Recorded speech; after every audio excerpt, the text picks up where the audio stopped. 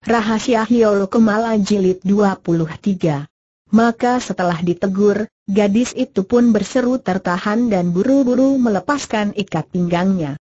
Tapi baru melepas sampai tengah jalan, mendadak paras mukanya berubah jadi merah, sambil mendorong pemuda itu ke muka teriaknya marah. Sana, menghadap ke situ, awas jangan mengintip ya baiklah, aku akan berjalan pelan-pelan, tapi kau harus cepatan sedikit. Selesai berkata, ia benar-benar putar badan dan pelan-pelan maju ke muka. Waktu itu senja telah lewat, malam yang gelap mencekam seluruh jagat, dari kejauhan tampak cahaya lampu yang lapat-lapat memancar dari arah kota Citin, kadangkala terdengar juga suara tertawa orang, suasana amat tenang dan nyaman. Sambil berjalan Hoa In Leong kembali berpikir sudah berapa ratus langkah ia lanjutkan perjalanannya tapi Choa Wiwi belum menyusul juga. Perempuan memang paling merepotkan pikirnya kemudian, untuk melepaskan sebuah jubah luarnya makan waktu selama ini sementara dia masih berpikir, mendadak Choa Wiwi sedang membentak keras, siapa itu? Hayo cepat berhenti.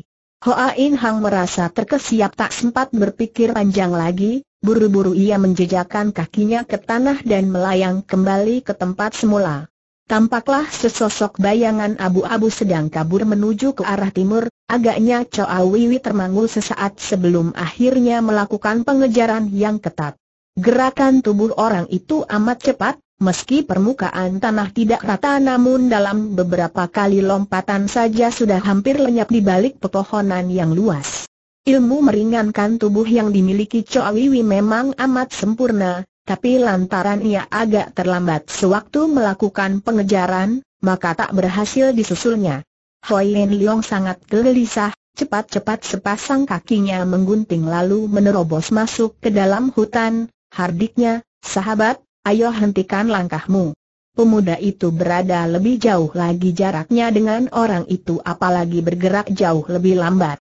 Untuk menyusul orang tersebut sudah, jelas lebih-lebih tak mungkin lagi. Siapa sangka ketika bayangan abu-abu itu tiba di tepi hutan yang lebat itu, mendadak ia berhenti dan malahan memutar.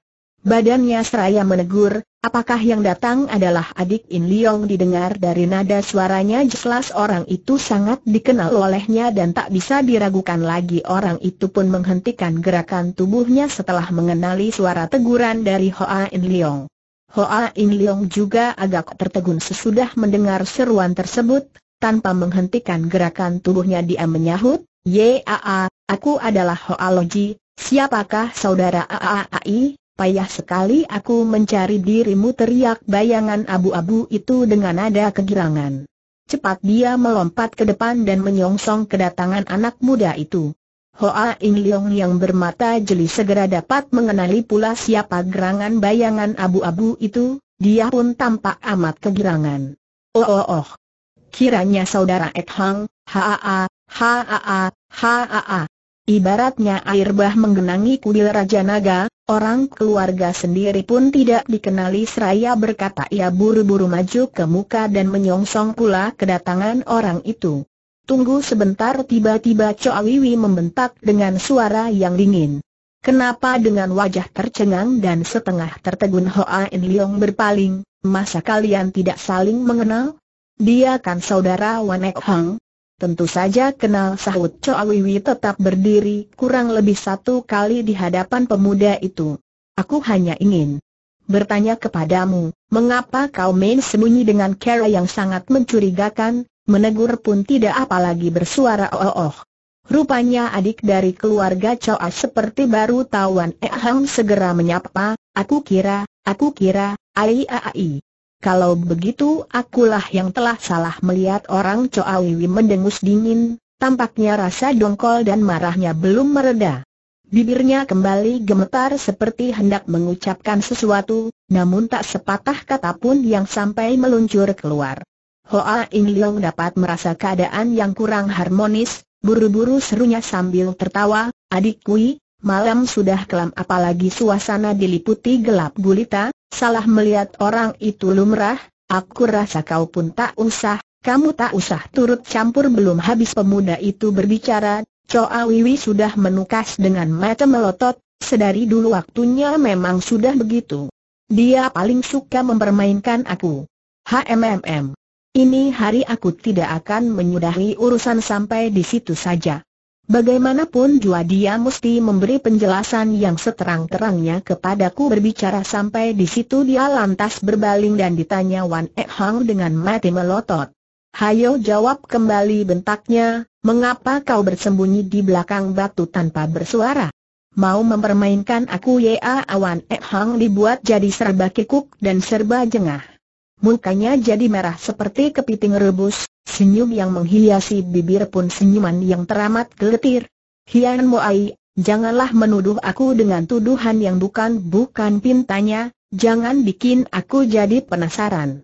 Aku betul-betul tidak tahu kalau engkau yang berada di situ hu. Setan baru percaya dengan obrolanmu Wiwi mencibirkan bibirnya, kami sudah bercakap-cakap, sedang kau bersembunyi di belakang batu hanya tiga kaki jauhnya dari tempat kami berbicara, masa suara kami pun tidak kedengaran. Apalagi di antara Kim Leng Gero Kong Chu engkaulah yang paling lihai dalam hal ilmu silat.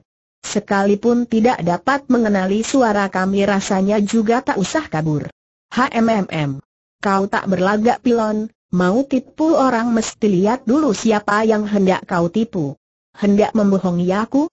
Jangan mimpi di siang hari bolongi Hoa In Liong yang menyaksikan percekcokan itu diam-diam tertawa geli, pikirannya dalam hati, adik Kui betul-betul tidak pakai aturan. Itu namanya orang yang tidak salah dituduh berbuat salah. Berbicara sampai tiga hari tiga malam pun tak akan ada habisnya. Yaa, mungkin kedua orang itu memang sudah tidak cocok sedari dulu, atau mungkin gurauan saudara Ek Hang di mana dulu sedikit keterlaluan, maka akibatnya adik Kui sampai sekarang masih merasa mendongkol sementara dia masih terpikir, Wan Ek Hang telah tertawa serak untuk menutupi perasaan jengahnya. Aaai. Kalau dibicarakan sungguh bikin hati menjadi menyesal. Aku benar-benar tidak tahu kalau engkau yang berada di sana. Terus terang saja kuakui, Andai kata pada dari yang terakhir ku kenali suara teguran tersebut sebagai suara diri adik In Leong, mungkin semenjak tadi aku sudah kabur ke dalam hutan dan melenyapkan jejakku di sana hee, hee, hee. Mungkinkah kau bisa lolos dari cengkeraman ejek Choa Wiwi sambil tertawa dingin, mukanya tampak sinis sekali. Agak tertegun Wan E Hang ketika menghadapi pertanyaan tersebut. Bisa kabur atau tidak, itu urusan lain. Pada hakikatnya andai kata aku sudah tahu bahwa orang yang ada di situ adalah engkau buat apa aku mesti melarikan diri. Bukan begitu adik In Liong tidak boleh bertanya kepadanya Choa Wiwi sangat marah, kau juga tak boleh menghindari yang sedang berkecamuk di dalam benakmu nada tegurannya kian lama kian bertambah keras dan nyaring, Seakan-akan gadis itu tak mau menyadari persoalan tersebut sebelum urusan menjadi jelas ke seluruhnya. Lama-lama Hoa In Liong merasa tak tega, cepat selanya dari samping, adik Kui, jangan keterlaluan. Kita semua toh mempunyai hubungan persaudaraan yang erat. Masa saudara Ek Hang bakal mempunyai ingatan jahat terhadap dirimu, ah ah ah ah. Kamu ini tahu apa kembali Choa Wiwi menukas, Tampangnya saja seperti orang yang tahu sopan santun dan halus budinya. Padahal, huuuh otaknya busuk, pikirannya jahat dan semua akal busuknya hanya bertujuan untuk perbuatan yang terkutuk. Sudah, sudah, cukup, jangan seperti anak-anak lagi Hoa In Liong segera menukas pula sambil tersenyum, saudara Ek Hang adalah saudara angkat dari kakakmu Chonggi. Dia memandang Engka sebagai adik sendiri juga. Kalau cuma bergurau atau menggoda dirimu itu lumrah dan tak bisa dihindari.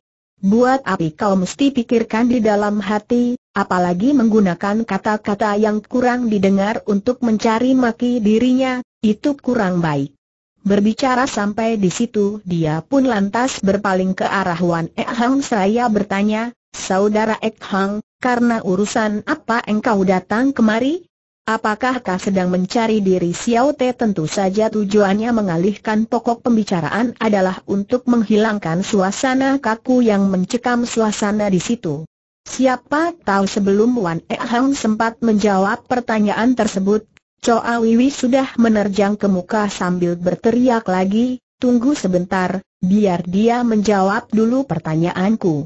Sebenarnya apa maksud dan tujuannya engkau bersembunyi di belakang batu di sana Hoa In Leong tertegun.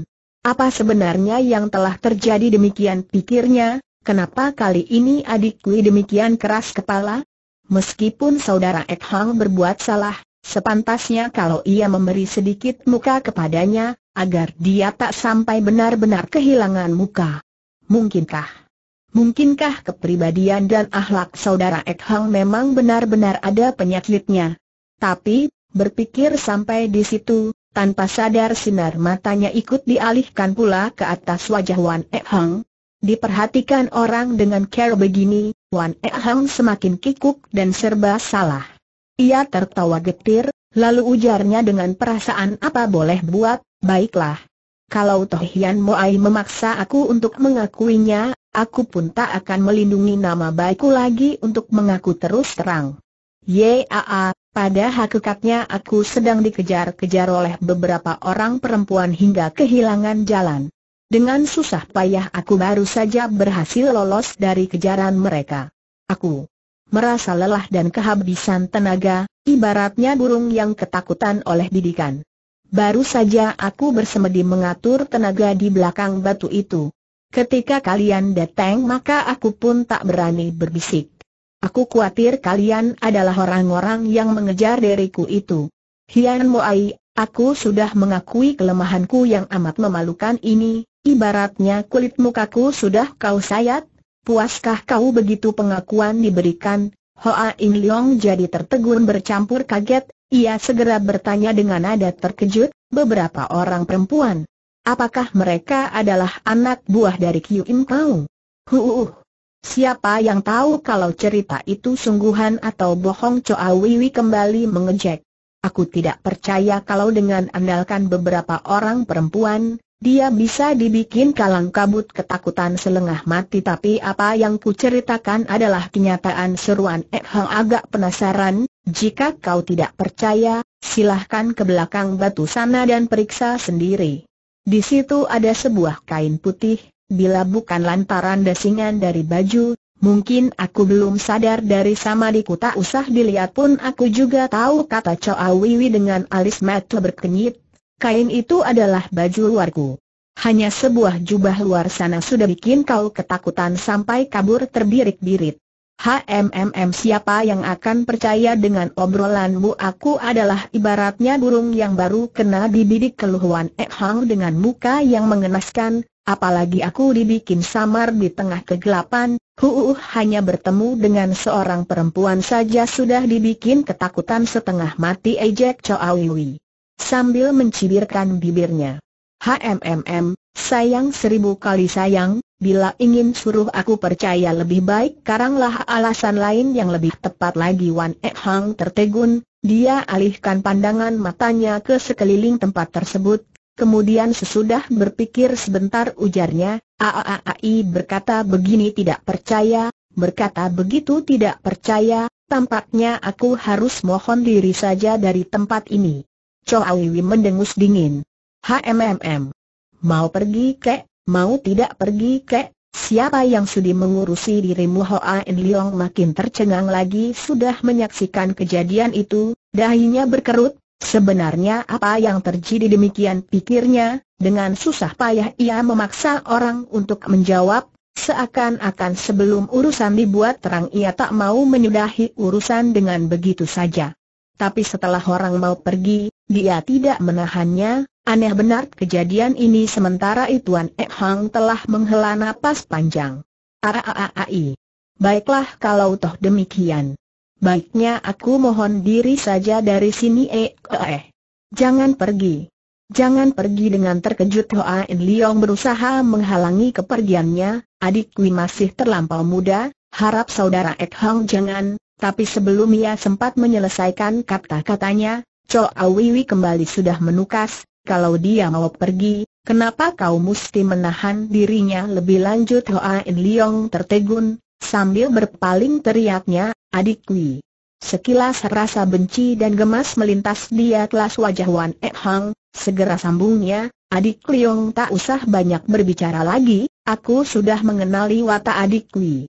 Sekalipun kau paksa untuk menahan diriku juga percuma, paling-paling hanya membuat dia semakin marah saja. Untuk sementara waktu biar aku menyingkir saja lebih dulu Chow Awiwi mendengus dingin, ia melengos ke arah lain dan tidak menggubris lagi. Hoa In Leong khawatir dia benar-benar akan pergi, segera ujarnya pula, ai ai perkataan apa itu, adik kita ada alasan untuk marah. Harap saudara Ek Hang juga tak usah tersinggung.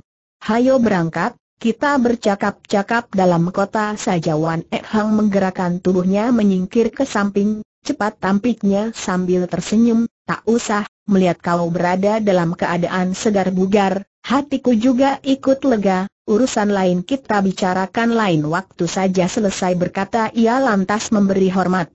Kemudian putar badan dan berlalu dari situ.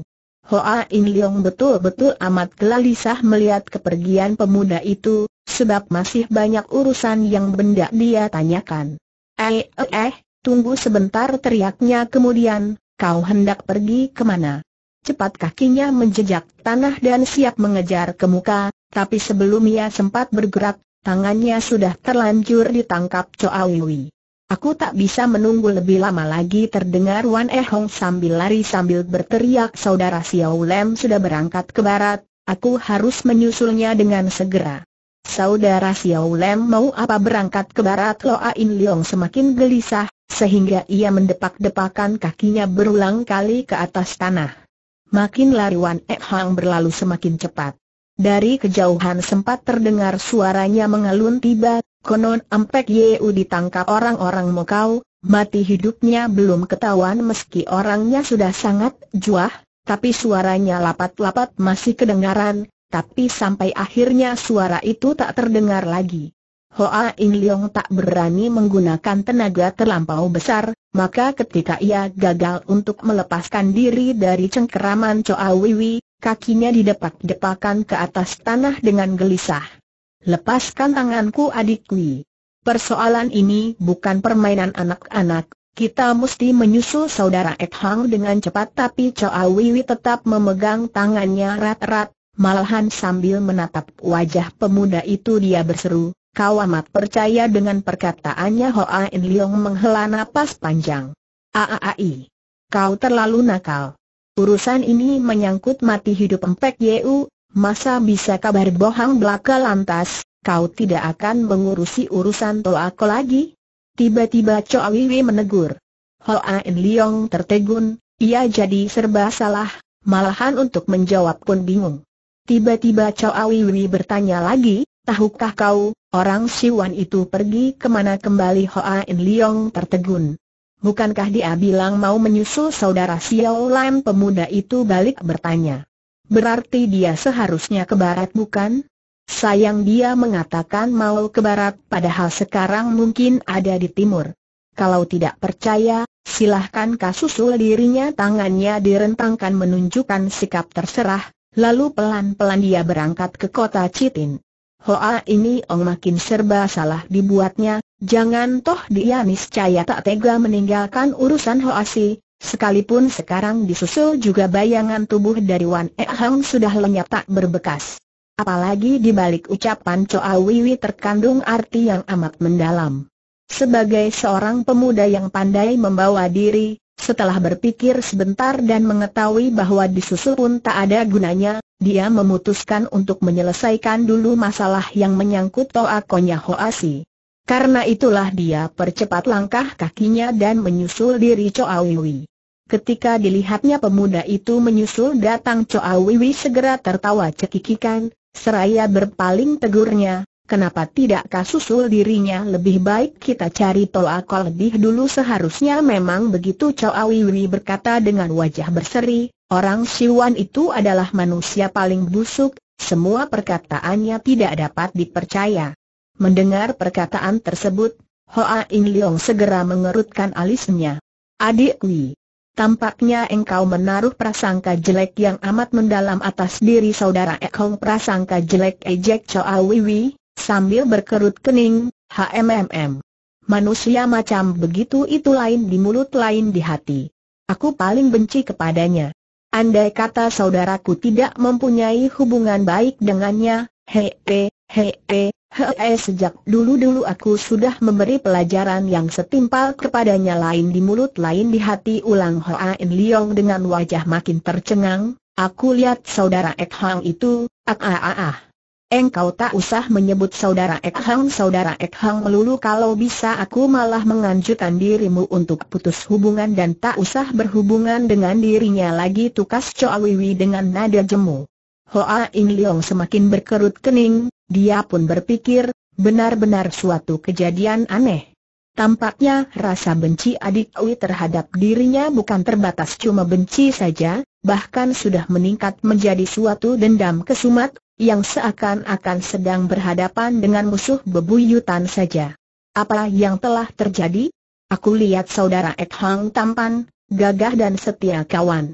Dia tidak mirip seorang manusia yang busuk atau memuakan walaupun ia sudah putar otak dan memikirkan persoalan itu berulang kali, namun pikirannya tak pernah dia bawa ke bagian yang jelek. Dia selalu beranggapan bahwa Choa Wiwi masih muda, berdarah panas, dan rasa sentimennya terhadap Wan Ek Hang hanya lantaran pandangannya yang tidak cocok.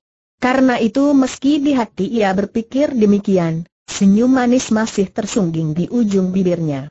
Adik Kui, engkau suruh aku putus hubungan dengannya, tentu anjuran ini disebabkan oleh alasan yang kuat bukan? Nah, tolong ajukanlah suatu contoh yang membuktikan bahwa dia adalah seorang manusia lain di muka lain di hati. Jika ada dasar, buktimu itulah akan ku pertimbangkan haruskah hubunganku dengannya diputuskan atau tidak. Choa Wiwi segera mencibirkan bibirnya. Aku sudah tahu kalau kamu ini manusia yang susah diberitahu. Baiklah. Akan kuberitahukan kepadamu. Orang itu luarannya saja yang gagah dan tampan, seakan-akan dia itu manusia yang jujur. Manusia yang gagah perkasa, terutama di depan kakakku sekalian waduh. Lagaknya macam orang yang sok mulia, sok bijaksana dan sok setia kawan. Padahal hanya, huh. Dia adalah seorang busuk, manusia munafik, manusia rendah tak tahu malu kau punya bukti tanya Hoa In Leong kemudian setelah tertegun dan melongo.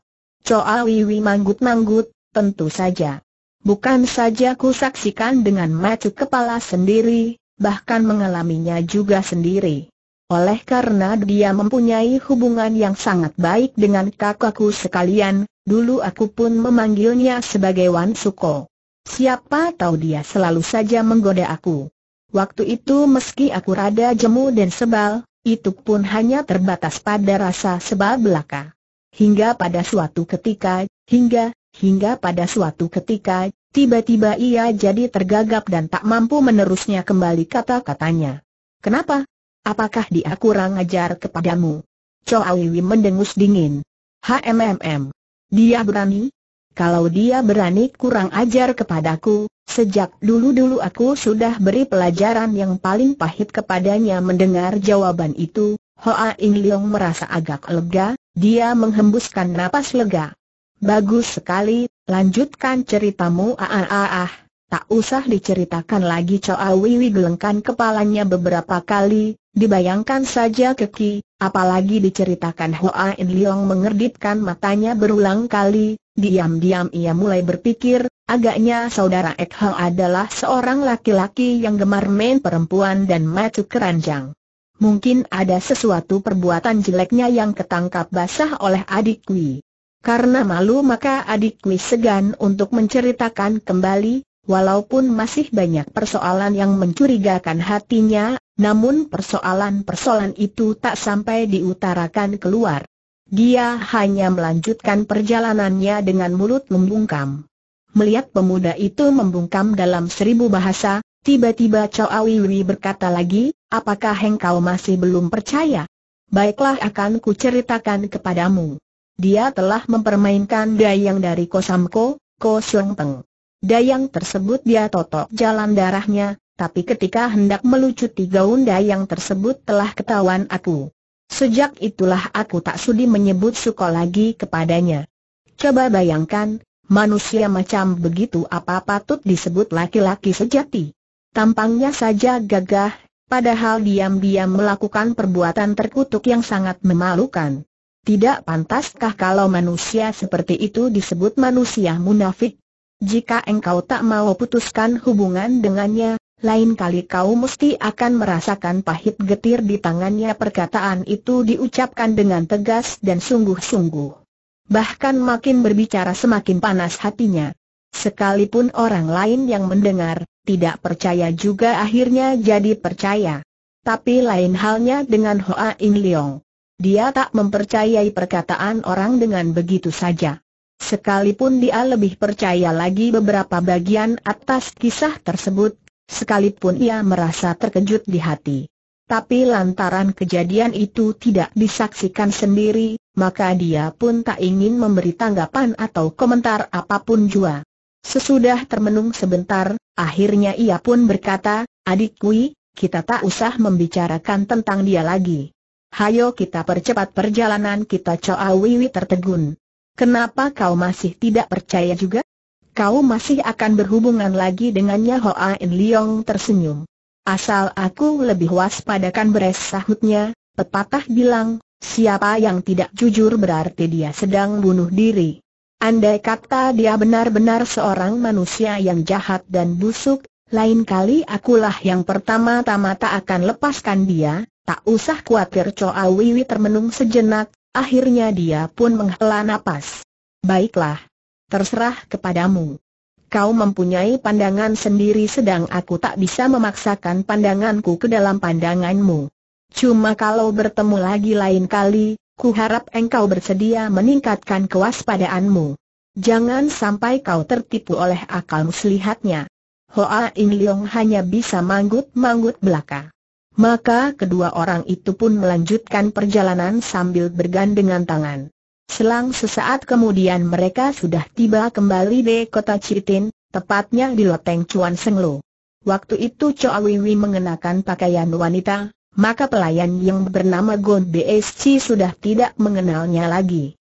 Berbeda dengan Hoa In Leong yang mengenakan pakaian sama, hanya mantelnya sekarang penuh debu. Maka hanya sekilas pandangan saja pelayan itu sudah mengenalinya kembali. Dengan wajah penuh senyuman pelayan itu buru-buru maju menyongsong kedatangannya. Kong Chuya sudah kembali? Sapanya, Kiong Hai, tidak sia-sia rasanya perjalananmu kali ini. Ha-a-a, ha-a-a, ha-a-a, silahkan, silahkan naik ke oteng jelas ia telah salah menganggap Choa Wiwi sebagai Wan Hang Giok. Hoa In Leong sendiri pun tidak memberi penjelasan lebih jauh. Sambil naiki tangga loteng dia berkata sambil tersenyum, tak nyana engkau masih mengenali diriku. Tolong tanya apakah selama dua hari belakangan ini ada orang yang menyolok mata berkunjung kemari orang-orang yang menyolok? Oh, oh, oh, pelayan yang menyusul dari belakang itu mendadak berseru tertahan, lalu sambil merendahkan suaranya dia berbisik, ada beberapa orang, bahkan sekarang masih berada di atas loteng. Mendengar kabar tersebut dengan kaget Loa In Leong menghentikan langkah kakinya, kemudian ikut berbisik, ada berapa orang?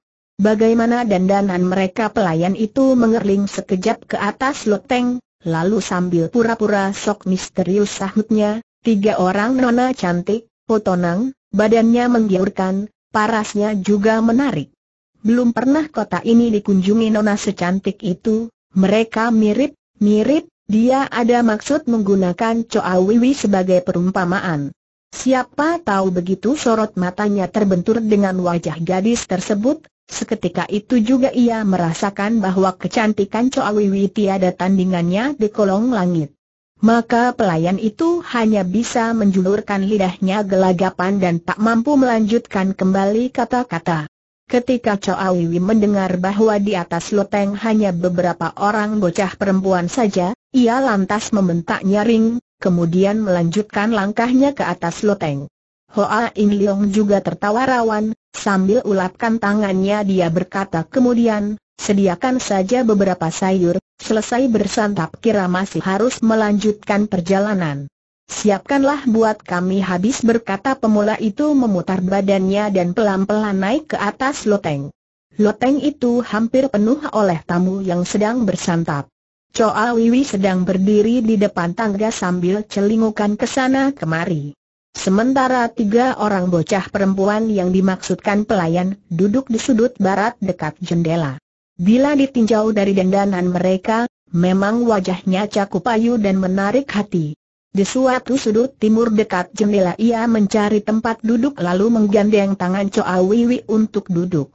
Menggunakan kesempatan tersebut matanya memandang sekejap sekeliling tempat itu untuk memeriksa apakah di sekitar sana ada orang persilatan yang menyolok pandangan mata atau tidak. Ternyata tamu yang bersantap di sana sebagai besar adalah penduduk kota. Yang bisa disebut sebagai menyolok memang tak lain hanya tiga orang bocah perempuan itu. Nona-nona tersebut tidak terlalu besar usianya. Yang paling tua pun baru berusia 8-19 tahunan. Di antaranya satu mengenakan baju warna hijau pupus, satu mengenakan baju warna merah menyala dan terakhir mengenakan baju warna kuning telur. Mereka itu sama-sama memakai gaun panjang dengan celana ketat. Ikat pinggangnya memakai warna yang sama. Pada sanggulnya memakai pita kupu-kupu dengan warna yang sama. Kecuali berdandan sebagai gadis remaja, tiada tanda-tanda lain yang istimewa. Selang sesaat kemudian, pelayan muncul menghidangkan sayur dan arak, maka sekali lagi Hoa In Leong berseru, eh eh eh, pelayan, tolong tanya, tengah hari tadi apakah ada seorang kongcu berbaju biru yang mampir di kedai ini pelayan itu termenung dan berpikir sebentar, Kemudian balik bertanya, apakah dia manyoran pedang dan usianya agak sedikit tua dari Kongcu? Diam-diam Hoa Ln Liong merasa gembira. Cepat dia mengangguk berulang kali. Yaa, betul. Betul. Apakah kau tahu setelah berlalu dari warung ini dia telah pergi ke mana pelayan itu segera menggeleng. Kongcu itu bertampang keren dan penuh wibawa, berbeda dengan engkau yang ramah dan suka bergaul. Hei, hei, hei, karenanya hamba pun tidak berani banyak bertanya lantas dia pergi ke arah mana. Apakah kau masih ingat desak Hoa In Leong lebih jauh dengan wajah sedih? Pelayan itu segera tertawa serak. Maaf, seribu kali maaf, hamba betul-betul tidak memperhatikannya Hoa In Leong merasa hatinya makin tercekam kemurungan, akhirnya ia ulapkan tangannya dengan sedih. Terima kasih atas pemberitahuanmu. Lanjutkanlah pekerjaanmu, katanya kemudian. Yaa, yaa, pelayan itu mengiyakan berulang kali sambil membungkukkan badannya, kemudian mengundurkan diri dari situ. Setelah gagal untuk mencari tahu kabar berita tentang kakaknya, Hoa Ing Leong berpikir sebentar sambil menatap wajah Choa Wiwi katanya, mari kita bersantap dulu, kemudian kita putar mengelilingi kota. Coba lihat adakah sesuatu tanda yang mencurigakan selesai berkata dia lantas mengambil sumpit dan mangkuk dan bersantap dengan lahapnya. Terhadap sepoci arak yang disediakan, ia sama sekali tidak memandangnya. Pada dasarnya Choa Wiwi sendiri pun tak pandai minum arak, sambil bersantap pun berbisik, eh, eh, eh. Jiko, aku, Lihat apa yang dikatakan Wan Ek Hang ada beberapa bagian yang bisa dipercayai Hoa In Leong tertegun, tapi ketika dilihatnya gadis itu bersikap sok misterius, maka tanpa terasa dia pun ikut berbisik, kenapa begitu? Bukankah kau sendiri yang mengatakan bahwa perkataannya tak dapat dipercaya diam-diam Choa Wiwi mencibirkan bibirnya ke arah barat, kemudian bisiknya lebih jauh, coba kau lihat. Diam-diam saja kalau melirik, agaknya ilmu silat yang dimiliki tiga orang gadis itu sangat tangguh. Mungkin benar juga kalau dia berkata bahwa ia sedang dikejar-kejar oleh beberapa orang gadis hingga mesti melarikan diri terbirit-birit dengan suatu lirikan seperti tak sengaja Hoa In Leong memperhatikan sekejap gadis-gadis di sudut barat itu, lalu sahutnya, meskipun ketiga orang gadis itu adalah orang-orang persilatan, tapi kalau dikatakan ilmu silat mereka lebih tangguh daripada Wan Ek Hang, bahkan dapat memaksa Wan Ek Hang sampai melarikan diri terbirit-birit, aku rasa hal itu suatu hal yang tak masuk di akal. Ayolah bersantap paling penting kita harus temukan To aku. Jangan sampai menimbulkan kecurigaan orang hindari segala kerepotan dan perselisihan-perselisihan yang tak penting Chow Wiwi mengerling sekejap ke arahnya, kemudian dengan wajah bersungguh-sungguh katanya, engkau bisa mengatakan demikian lantaran kau tidak memperhatikannya secara sungguh-sungguh.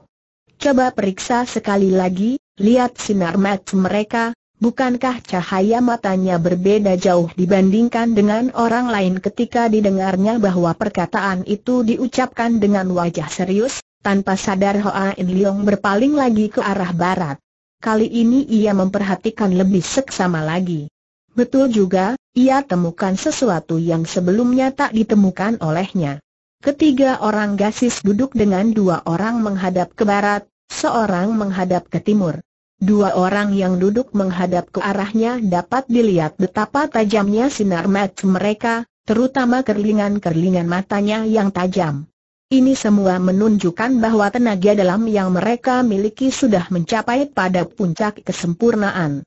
Yang lebih aneh lagi, bukan saja ketiga orang gadis itu masih muda-muda dan memiliki paras muka yang cantik jelita bahkan raut wajah mereka sangat dikenal olehnya, seakan-akan pernah dijumpai di suatu tempat.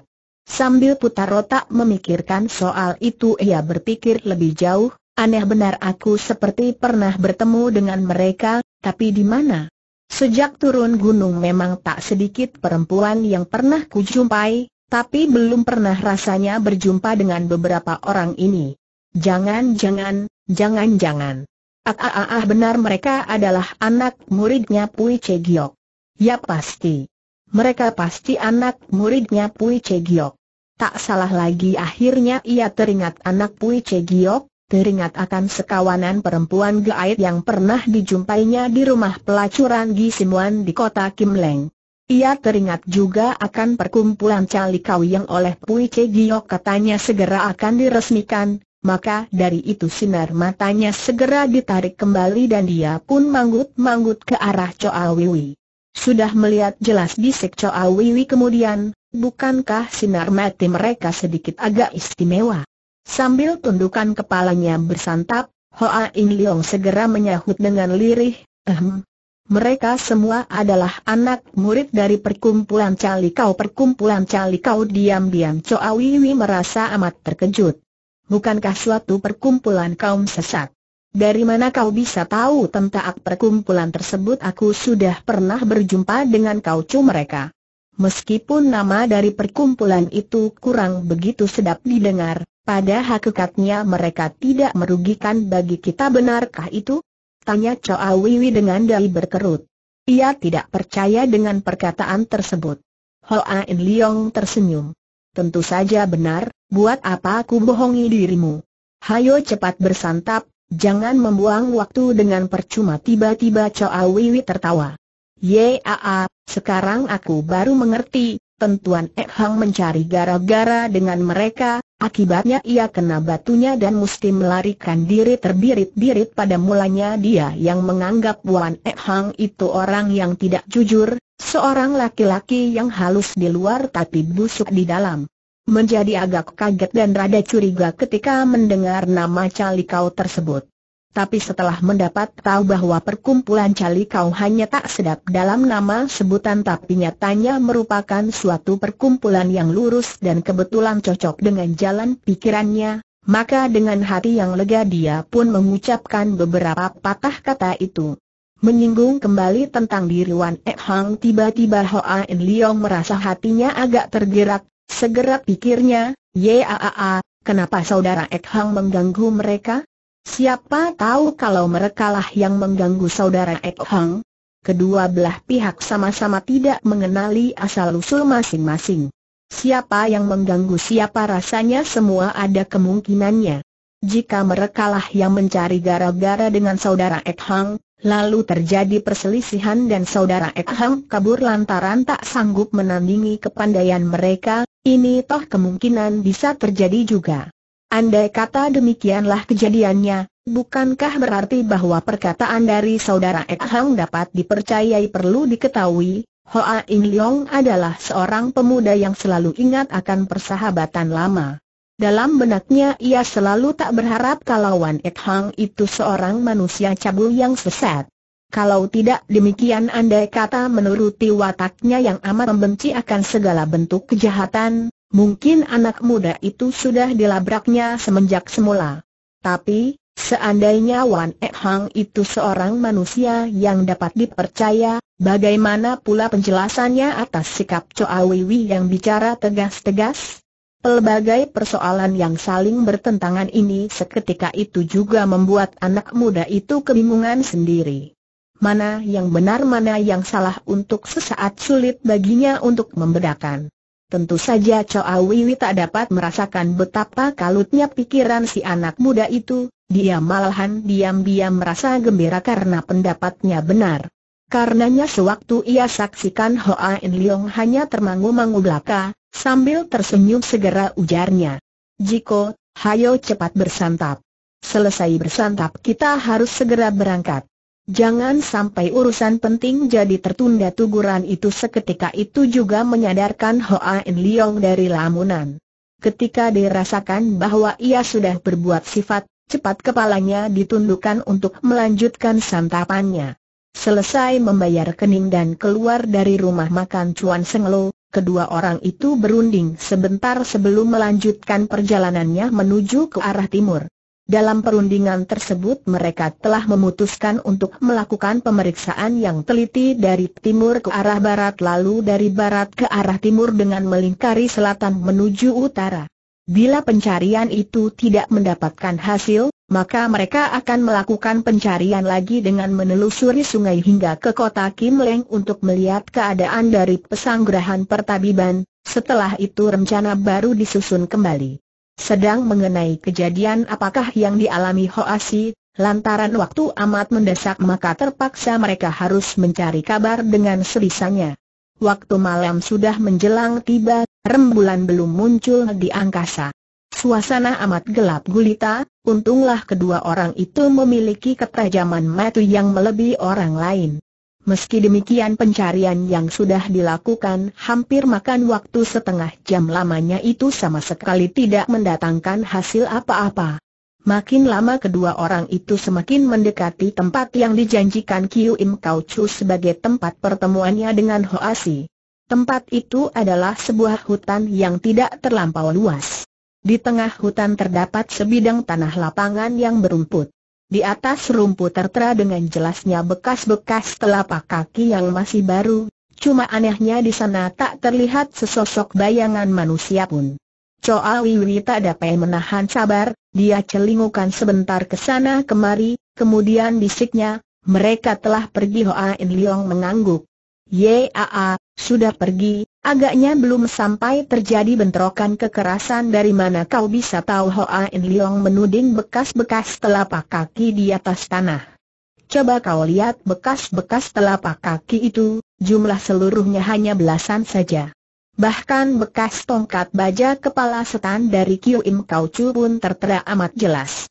Bekas-bekas telapak kaki itu bersih, teratur dan sama sekali tidak kalut.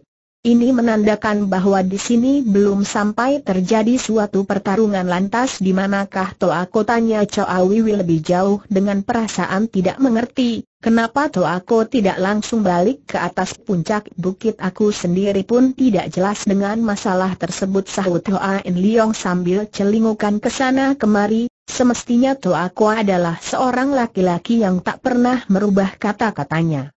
Dia pun laki-laki yang pegang janji. Anehnya ternyata ia tidak balik lagi ke atas puncak bukit, Choa Wiwi murung sekali, pikirannya ikut menjadi kusut. Jangan-jangan Kiu Im Kau Chu turun tangan secara tiba-tiba. Dengan menotok jalan darah dari Toako, kemudian menculik Toako pergi dari sini tidak mungkin Hoa In Leong gelengkan kepalanya berulang kali, Toako berbeda dengan aku. Kalau aku kadang-kala memang bisa berpikiran cabang hingga kena dikecundangi orang, sedang toh aku orangnya serius dan selalu waspada, berbicara sampai di situ, tiba-tiba ia tertawa tergelak. Ha-a-a, ha-a-a, ha-a-a.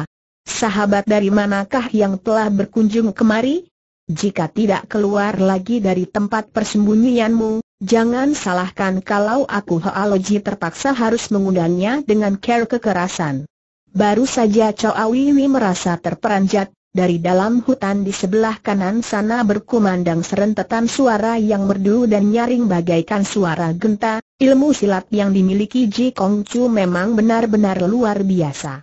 Kami mengira tempat persembunyian kami ini cukup rapat dan rahasia. Tak taunya masih tidak berhasil juga untuk melolos diri dari pengawasanmu di tengah pembicaraan tersebut.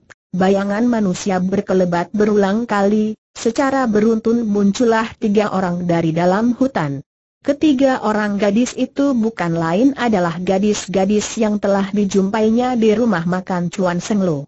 Maka begitu berjumpa muka, Choa Wiwi berseru, oh, oh oh, kiranya kalian dengan langkah yang lemah gemulai tiga orang gadis itu maju ke depan. Setelah berada di hadapan kedua orang muda-muda itu serentak mereka memberi hormat. Apakah Ji? Kongcu mengetahui asal-usul kami darah baju kuning di antara tiga orang gadis itu menyapa. Sambil balas memberi hormat jawaban Hoa In Leong, jika dugaanku tidak keliru, kalian bertiga semestinya adalah anak murid dari perkumpulan Cali kau keliru tiba-tiba darah baju kuning itu gelengkan kepalanya, kami adalah murid perkumpulan Cian Likau jawaban tersebut membuat Hoa In Leong terbelalak dengan mulut melongot, ia benar-benar dibuat tertegun. Kembali darah berbaju kuning itu tertawa cekikikan, kemudian katanya lebih jauh, namun dugaan Ji Kong Chu juga tidak keliru sebab perkumpulan Cian Likau bukan lain adalah berkumpulan Calikau. Hanya namanya saja mengalami perubahan beberapa saat berselang selesai berbicara, bersama dua orang gadis lainnya mereka tertawa cekikikan dengan santainya, sama sekali tidak tampak rikuh. Menyaksikan keadaan mereka, diam-diam Choa Wiwi mengerutkan dahinya dan berpikir, Apakah anggota dari perkumpulan Cian Likau adalah manusia-manusia yang tidak pakai aturan dan bergaul bebas seperti itu? Lain halnya dengan Hoa In Leong yang sudah pernah menyaksikan keanehan mereka, sambil tersenyum ujarnya, menurut apa yang ku ketahui, nama dari perkumpulan Kaliau itu berasal mula dari kitab pusaka Cali Chin Keng, Kenapa nama yang sudah baik diganti lagi bukankah kau pernah mengatakan bahwa perkumpulan Cali kau adalah suatu perkumpulan sesat yang memikat orang dengan mengandalkan kecantikan perempuan? Ujar darah berbaju kuning itu. Mendengar perkataan itu, Hoa In Leong segera tertawa terbahak-bahak karena geli. Ha-a-a, ha-a-a, ha-a-a. Perkataan itu kuucapkan ketika lagi jengkel. Sungguh tak nyana kalau kau cu kalian menanggapinya dengan serius darah berbaju kuning itu kembali tertawa cekikikan. Hi, hi, hi. Sekali lagi kau keliru besar. Apa yang kau katakan kendati pun merupakan salah satu dari alasan kami, tapi yang paling penting hal ini adalah merupakan saran dari Sucou kami. Dia orang tua suka segala yang berbau ketenangan tak mau lantaran nama Cali hingga menyebabkan ketenangan dan kesuciannya terganggu. Selain daripada itu kau cu kami pun bermaksud demikian, maka atas dasar pelbagai alasan itulah maka nama perkumpulan kami mengalami penggantian Hoa In Leong benar-benar dibikin serba salah, mau tertawa tak bisa mau menangis juga sungkan. Lantas bagaimana pula dengan maksud hati kau cu kalian tanyanya kemudian. Maksud kau cu kami, lebih baik nama perkumpulan itu dirubah dengan nama yang sekarang ini. Hal tersebut mengingatkan beliau akan kisah cerita yang berjudul Cian Lile Ihun, gadis Ayu kehilangan Sukma. Pernah bakal ceritanya tidak Hoa Ln Hang sebagai seorang pemuda romantis yang suka berganti pacar, tentu saja pernah membaca cerita Cian Lile Ihun tersebut. Bahkan sudah pernah membacanya beberapa kali, tentu saja ia tahu akan isi cerita tersebut. Maka sambil tersenyum ia mangguk berulang kali, bahkan sengaja berseru tertahan sambil berkata, oh, oh, oh kiranya. Begitu. Jadi perkumpulan kalian sudah dibuka secara resmi? Lantas di manakah markas besar dari perkumpulan kalian itu? Bagaimana pula organisasi itu tersusun? Apa pula jabatan dari nona bertiga? Apakah aku boleh tahu semuanya tentang soal itu tak bisa kukatakan tiba-tiba si nona baju kuning itu berkata dengan serius, sebab urusan menyangkut tentang rahasia perkumpulan. Bila kukatakan, niscaya kami akan dijatuhi hukuman yang sangat berat. Karenanya maafkanlah kami, terpaksa kami mesti membungkam dalam seribu bahasa menyaksikan sikap serius dan bersungguh-sungguh yang ditunjukkan nona itu, hingga tampaklah jelas raut wajah kegadisan mereka yang sebenarnya, Choa Wiwi tak bisa menahan rasa gelinya lagi, dia tertawa cekikikan. Mendengar suara tertawa itu, si nona baju kuning pun berpaling, tiba-tiba ia menyapa, bukankah Cici ini adalah adik perempuan dari Choa Chonggi? Choa Kong Chu Choa Wiwi tertegun. Yaa, benar. Aku bernama Choa Wiwi, Adik dari Choa Chonggi tapi dari mana kalian bisa tahu tegurnya? Nona baju kuning itu segera tersenyum. Terus terang ku katakan kepadamu, setiap orang yang mempunyai hubungan dengan Hoa Kong Chu tak pernah lepas dari pengawasan kami. Semuanya dapat kami ketahui dengan jelasnya berbicara sampai di sini dia pun melemparkan sebuah kerlingan maut ke arah Hoa Ing Leong. Kerlingan tersebut betul-betul memiliki daya pikat yang mempesonakan hati siapa pun jua, jangankan manusia yang terdiri dari darah daging, manusia dari baja pun akan melumar. Kurang senang Choa Wiwi menyaksikan tindak tanduk lawannya, keningnya berkerut kencang, sementara dalam hati kecilnya menggerutu terus, silahkan. Silahkan, entah perempuan-perempuan ini perempuan genah atau perempuan nakal. Kalau dibilang perempuan baik-baik, kerlingan matanya aduhai, kalau dihilang perempuan nakal, lagaknya tampak alim berbeda dengan Hoa Ing Leong, terhadap kerlingan tersebut boleh dibilang ia tak ambil peduli, melirik pun tidak. Perhatian dan bantuan dari perkumpulan kalian sangat mengharukan hatiku demikian ujarnya, aku hanya dapat mengucapkan terima kasih yang tak terkirakan besarnya. Cuma, bolehkah aku tahu, ada urusan apa hingga nona-nona sekalian menyusul aku sampai di sini mendapat pertanyaan itu, si nona baju kuning segera merogoh ke dalam sakunya dan mengeluarkan selembar kertas, lalu sambil diangsurkan ke muka katanya, apa yang hendak kukatakan sudah tercantum semua di atas kertas itu, silahkan periksa sendiri ketika Hoa In Leong menerima surat itu dan siap untuk dibacanya, Tiba-tiba nona baju kuning itu putar badan seraya ulapkan tangannya. Gel Moai, Kiu Moai, ayo kita pergi kemudian bagaikan burung-burung walet yang terbang di angkasa, mereka melayang ke udara dan meluncur ke dalam hutan. Cepat, gesit dan lincah sekali gerakan tubuh ketiga nona itu sudah lenyap dari pandangan. Tindakan yang diambil ketiga orang gadis itu sungguh di luar dugaan Hoa In Leong maupun Choa Wiwi. Mereka tak menyangka kalau gadis-gadis itu akan segera pergi begitu mereka mengatakan akan pergi, bahkan sepatah kata pun tak diucapkan. Untuk sesaat lamanya mereka berdua hanya bisa berdiri melongo dengan muka tercengang. Selang sesaat kemudian, Choa Wiwi baru serentak bangun dari lamunannya. Dengan nada tertegun dan keheranan ia bergumam sambil gelengkan kepalanya berulang kali, manusia aneh, Benar-benar manusia aneh, ia berpaling, ketika dilihatnya Hoa In Leong masih berdiri termangu, maka dia pun berteriak, eh eh eh Jiko. Orangnya sudah pergi jauh, kenapa masih melamun terus? Coba kita periksa dulu apa isi surat tersebut. Siapa tahu kalau kita akan menemukan kabar berita tentang Toako Oya, benar, benar. Memang benar, kata-katamu itu seperti baru sadar, Hoa Ing Leong manggut-manggut, kemarilah, hayo kita, baka bersama isi surat ini, Choa Wiwi melompat ke muka, mereka berdua segera alihkan sinar matanya ke atas surat tersebut. Dan terbacalah surat itu berbunyi demikian, sinar iblis memancar sampai di Kiu Ciu. Semak berduri banyak di depan sana. Kembali dan lapor kepada Tian Cukiam, waspada terhadap orang di depan mata itulah selembar kertas kecil yang mungil dan tulisan yang indah. Hanya isi surat tersebut tanpa diberi pembukaan maupun surat penutup.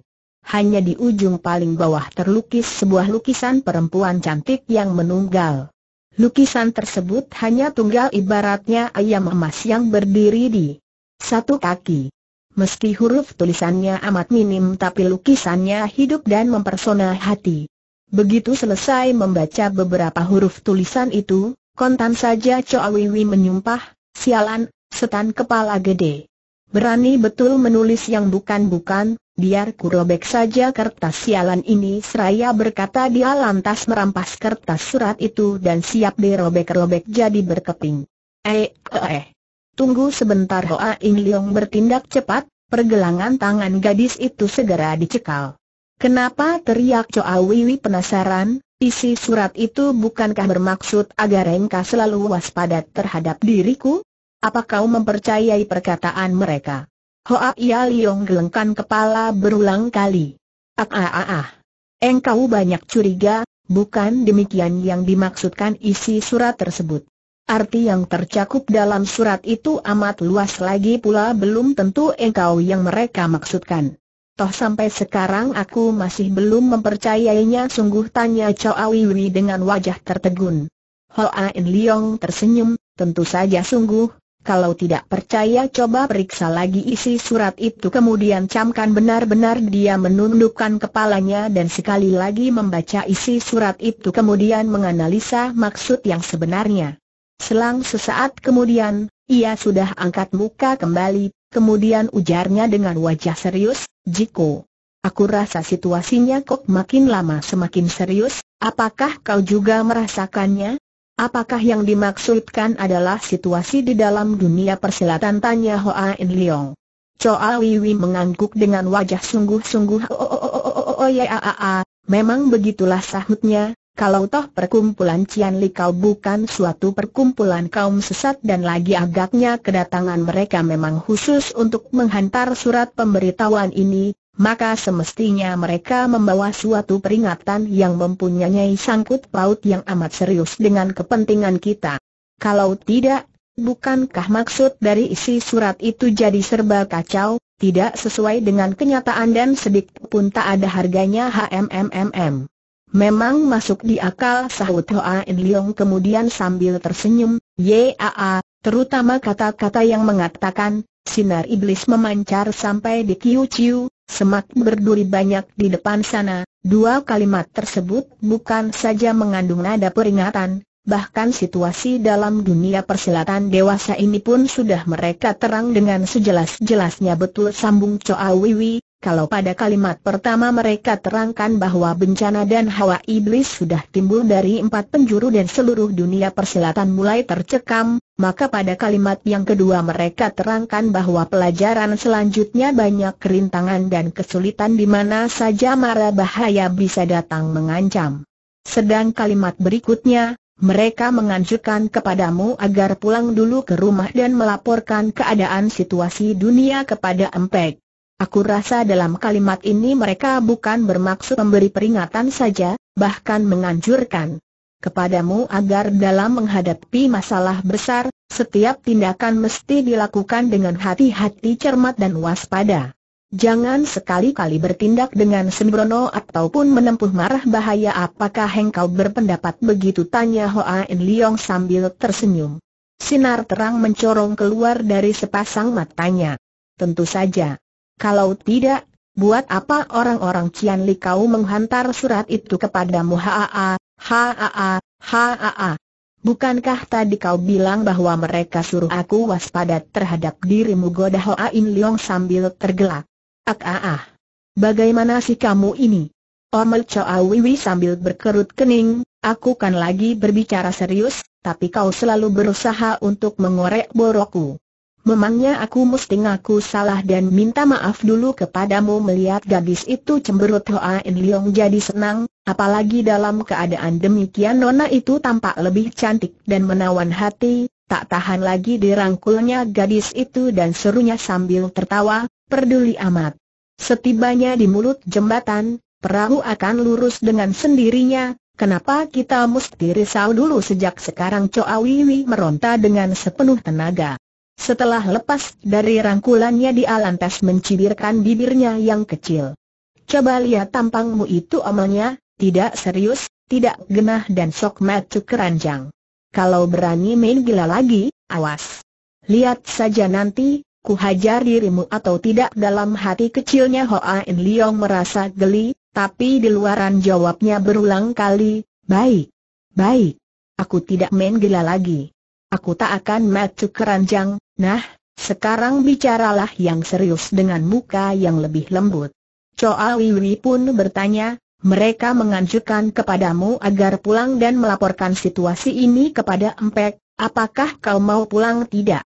Aku tidak akan pulang mendengar jawaban dari si anak muda ini singkat tapi jelas, Choa Wiwi malahan tertegun dibuatnya.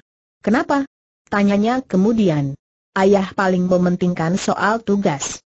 Kalau aku mesti pulang ke rumah dan melaporkan semua kejadian ini, Ibaratnya baru melihat angin lantas menduga bakal hujan. Wah, bukan pujian yang didapat, bisa jadi aku bakal dicaci maki habis-habisan kalau hendak dimaki biar saja dimaki. Kan lebih baik dicaci maki ayah sendiri daripada menempuh bahaya dagan percuma jadi kau berharap aku dicaci maki oleh ayahku tiba-tiba Hoa In Leong balik bertanya sambil tersenyum ah ah ah ah, kamu ini, kalau bicara yang betul sedikit.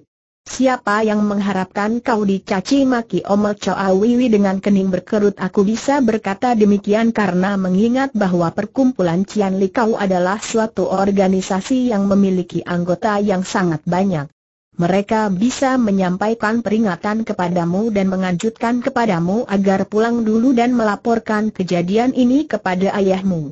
Tentu saja semua masalah telah mereka bahas. Semua situasi telah mereka teliti sebelum akhirnya memutuskan demikian. Aku yakin anjuran tersebut bukan mereka ajukan tanpa disertai oleh alasan yang kuat apa yang mereka bahas. Apa yang mereka analisa kata Hoa In Leong sambil tertawa, apakah lantaran usiaku masih muda?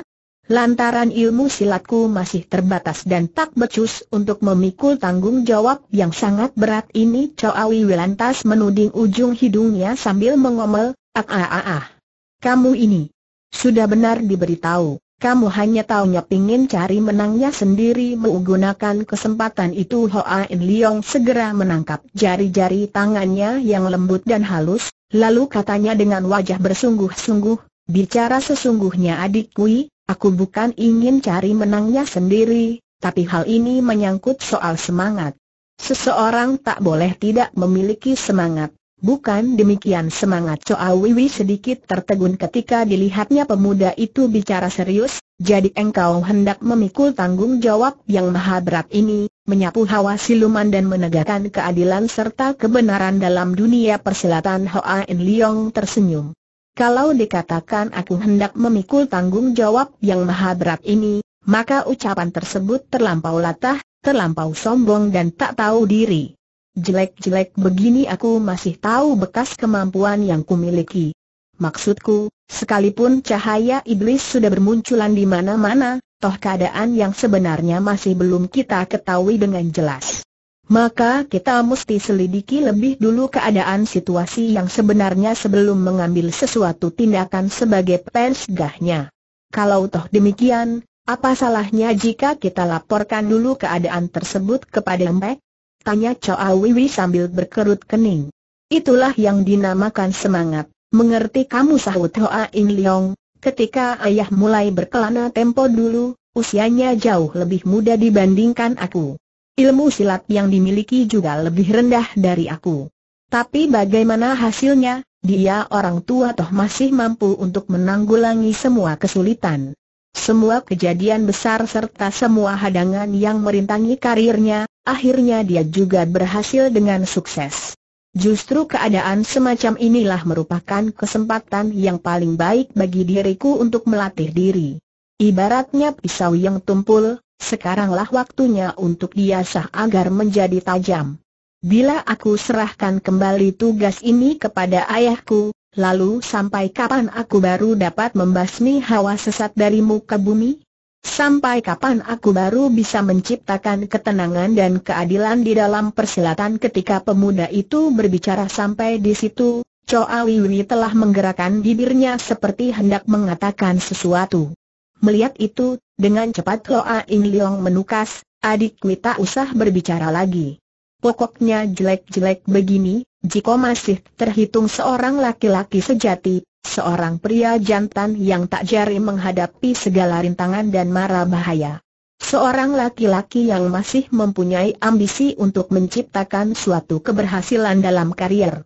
Andai kata aku penakut, seorang pengecut dan tak berani menghadapi kenyataan, jangankan orang lain, mungkin engkau pun tak akan memandang sebelah mata kepadaku. Choa Wiwi berpikir sebentar, akhirnya dengan sedih ia berkata, baiklah terserah padamu. Pokoknya aku tak akan meninggalkan dirimu lagi. Belum habis ia berkata, Hoa In Leong sudah memeluk pinggangnya dan berseru dengan penuh kegembiraan, bagus. Hore! Asal kau membantu aku, Sekalipun ada kejadian yang lebih mengerikan aku juga tak akan takut kali ini pelukan itu dilakukan dengan muka berhadapan dengan muka, dada dan perut masing-masing saling menempel satu sama lainnya. Choa Wiwi bukan saja tidak meronta, dia malah balas memeluk anak muda itu, kemudian sambil mengangkat dagu Hoa In Leong ke atas katanya lembut, tapi kau mesti menurut perkataanku. Aku tak akan mengizinkan engkau berbuat gegabah, tidak acuh terhadap segala urusan. Misalnya saja sebelum racun ular sakti yang mengeram dalam tubuhmu punah, kau dilarang bertarung dengan siapa pun. Kemudian, kemudian, ucapan dari perkumpulan Cian Li kau juga harus dituruti. Siapa tahu kalau di antara sobat karibmu atau teman perempuanmu ada yang hendak mencelakai dirimu. Daripada terlanjur kena dicelakai, kan lebih baik sedia payung sebelum hujan, bukan begitu waktu mengucapkan kata-kata tersebut, gadis itu berbicara dengan serius. Hoa In Leong hanya merasakan biji matanya yang jeli berkedip penuh tantangan. Makin dia dilihat makin menawan hati, akhirnya ia tak dapat mengendalikan perasaannya lagi, diciumnya pipi kanannya dengan mesra. Tentu saja, sekalipun tidak kau katakan, Aku juga bisa bertindak lebih hati-hati katanya. Choa Wiwi mencibirkan bibirnya yang kecil dan memukul bahu anak muda itu dengan gemas. Ah ah ah ah, benci serunya manja, hayo turunkan aku, kita mesti segera mencari tolako jangan keburu nafsu, biar kucium lagi pipimu yang lain. Habis berkata betul juga, dia lantas mencium pula pipi kiri Choa Wiwi dengan mesra. Tentu saja Choa Wiwi dibikin tersipu-sipu, ia memukuli bahu pemuda itu dengan manja, dan serunya berulang kali, benci, benci, benci Hoa In Leong terbahak-bahak, sambil turunkan Choa Wiwi dari pelukannya ia berkata, adik Kui, tahukah engkau bahwa kau itu cantik Choa Wiwi mengerling sekejap ke arah dengan gemas, lalu sahutnya manja, masih ngoceh terus. Kau ini paling tengik, tahunya cuma menggoda orang saja siapa yang menggoda kau? Aku berbicara yang sesungguhnya. Kau memang benar-benar cantik, jauh lebih cantik dibandingkan dengan Kiu Im Kau Chu berani bicara lagi? Sekali lagi berbicara, aku akan benar-benar menghajar dirimu ancam si Nona sambil layun tangan kanannya.